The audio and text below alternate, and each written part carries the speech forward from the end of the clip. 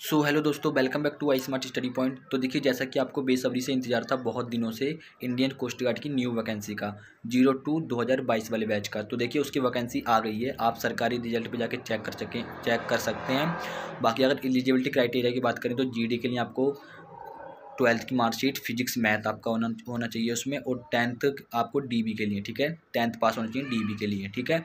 और जो आपको देखिए कास्ट सर्टिफिकेट लगेगा वो ऑल इंडिया वाला लगेगा तो ऑल इंडिया वाला आप इसमें कास्ट सर्टिफिकेट लगाइएगा, वरना आपको दिक्कत हो सकती है, ठीक है? कास्ट सर्टिफिकेट का बहुत ध्यान दीजिएगा, बहुत से कमेंट आ रहे हैं कि स्टेट वाला लगेगा या फिर सेंट्रल वाला तो आप ध्यान दीजिए सेंट्रल वाला लगेगा, ठीक है? तो सेंट्रल वाला कास्ट सर्टिफिकेट बनवा लीजिए और आप हाल ही में बनवा लीजिए, ठीक है?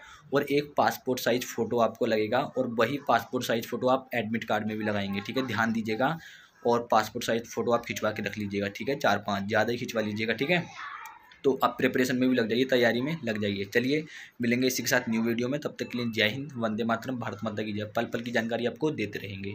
नए चैनल पर नए तो सब्सक्राइब कर लीजिएगा।